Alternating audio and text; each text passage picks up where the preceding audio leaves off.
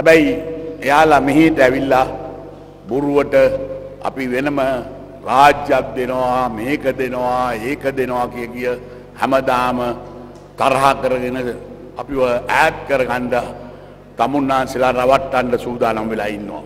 මං එතුමට ආරාධනා කරා මාත් එක්ක එන්න සාකච්ඡාවට මේ රටේ දේශපාලන විසඳුමක් ඕන නම් ඒක අපි සාකච්ඡා කරලා කරමු කියලා කිව්වා.